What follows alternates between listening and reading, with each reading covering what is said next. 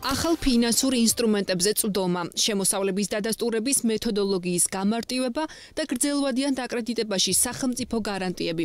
ეს მხოლოდ ნაწილია, რასაჭიროებაც დღეს აგრარულ სექტორს უდგას. ფინანსებზე ხელმისაწვდომობა სოფლის მეურნეობის სექტორისთვის ერთ-ერთი მთავარი გამოწვევა. საფინანსო ინსტიტუტები ფერმერული მეურნეობების დაკრედიტებას ძირითადად შეღავათიანი აგროკრედიტის პროგრამის ფარგლებში ახორციელებენ. სადაც სახელმწიფო სესხის სუბსიდირებას ახდენს. თემატური მოკვლევის ფარგლებში გამოიკვეთა, რომ ფერმერების ნაწილს სესხის უზრუნველყოფისთვის საჭირო აქტივიც არ აქვს, რაც უმეტეს შემთხვევაში მიზეზია, რის გამოც ბანკები ფერმერების დაკრედიტებაზე უარს ამბობენ. ბანკებიდან აღებული თანხები და ბანკების დაკრედიტება ერთადერთი საფუძველი ამ ყოლაფერს აქვს სახელმწიფო პროგრამები და რა თქმა უნდა დიდწილად თავად ამ სესხების აღების საფუძველი არის სახელმწიფო გარანტია საგარანტიო სქემები იქნება ეს თუ სხვა სხვა პროგრამები. ჩვენ უფრო მეტი აქცენტი ქონდა გაკეთებული დამოუკიდებლად ბანკების მხრიდან რა უნდა გაკეთდეს ერთის მხრივ სახელმწიფოს ჩართულობით და მეორე მხრივ თავად ბანკების კუთხით რომ უფრო გაიზარდოს კერძო ფინანსებზე, ანუ ბანკების ინდივიდუალური დაკრედიტება სოფლის მეურნეობაში და მეორე მხრივ, რა თქმა უნდა, თავად სახელმწიფომ სოფლის მეურნეობა იქნება ეს თუ სხვა სტრუქტურები, რა უნდა გააკეთოს, რომ კერძო სექტორს, ამ შემთხვევაში ბანკებს და საფინანსო სექტორს ხელი შეუწყოს, რომ დაკრედიტება უფრო მარტივი გახდეს. აგრარული ხელწერილი და სასაწყობე ხელწერილი. ეს ის ფინანსური ინსტრუმენტებია, რა საერთაშორისო გამოცდილებაც საქართველოს უნდა გაიზიაროს.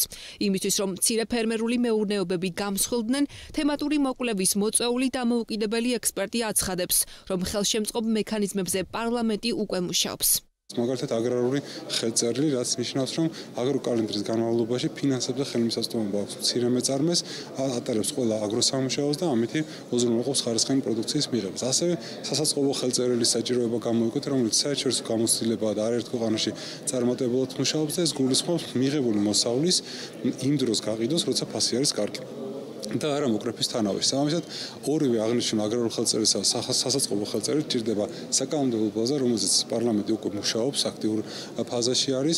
სოფლის მეურნეობის სექტორში დასაქმებულებისთვის ძირითადი აქტივი მაინც მიწა, რაც ხშირ შემთხვევაში არასაკმარისია უზრუნველყოფის საშუალებად იქნას გამოყენებული სესხის მისაღებად. კერძო სექტორის ნაწილი ამბობს, რომ არასათანადო შეფასება და ვადები ფერმერებისთვის მთავარი პრობლემა.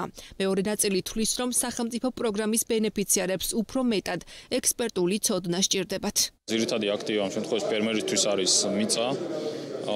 ის აგრარული ინფრასტრუქტურა რაც მას აქვს თუმცა არის შემთხვევები, რომ არ არის საკმარისი იგივე გირაოს შემთხვევაში და დამატებით ითხოვს გირაონობას ამ კუთხით. ესეც რა თქმა უნდა გამოწვევა.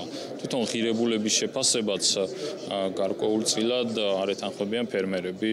იგივე ვიცით რომ მაგალითად ყველაზე ლიკვიდური აქტივი არის ბინა კალაქში, მაგრამ სოფლის აქტივები ჯერჯერობით არ არის სამ დონეზე და რეალურ საბაზრო ღირებულებაზე შედარებით დაბალ ფასში ხდება შეფასება და ერთ-ერთი საკითხი ესეც არის. პრობლემები ნაკლებად იკვეთება უშუალოდ ფინანსურ ხელმისაწვდომობას რაც შეეხება, თუმცა ფინანსები, რომელიც რიგ შემთხვევაში მარტივადაც კი არის ხელმისაწვდომი, ეს ფინანსები შეიძლება დაიხარჯოს უფრო ცოდნაზე დაყრდნობით. შესაბამისად, ჩვენი, ასე რომ ვთქვათ, ინიციატივა იყო ასოციაციის ჭრილშიც განხილული, რომ ფული, რომელიც ინვესტიციის სახით იდება ჩვენ სექტორში, მოყვებოდეს გარკვეული ცოდნა ექსპერტების მხრიდან ეს იქნება ადგილობრივი თუ საერთაშორისო ექსპერტები, რომლებიც ამ ფულის ხარჯვის პროცესში ეტაპობრივად მისცემენ რეკომენდაციას ფერმერებს, ინვესტორებს თემატური მოკვლევის ფარგლებში ეროვნული ბანკის და საფინანსო ინსტიტუტების მიმართ ფერმერთა შემოსავლების დადასტურების მეთოდოლოგიის გადახედვის და გამარტივების რეკომენდაცია გაიცა. რეკომენდაციები მიიღო სოფლის მეურნეობის სამინისტრომაც. როგორც გამოიკვეთა ფერმერებს, გრძელვადიანი დაკრედიტების დროს სახელმწიფოსგან გარანტიები სჭირდებათ.